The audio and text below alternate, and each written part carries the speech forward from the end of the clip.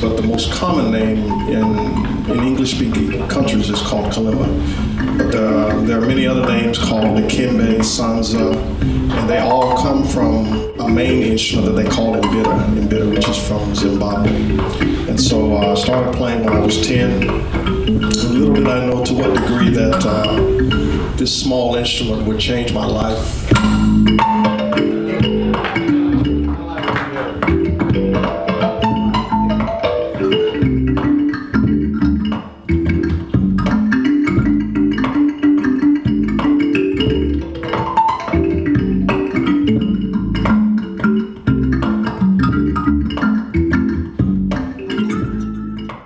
You ready? Yeah.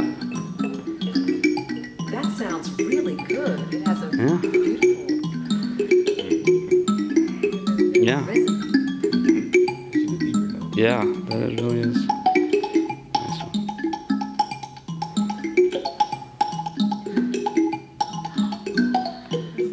It sounds good. I might have to come back tomorrow and make one of these. Right.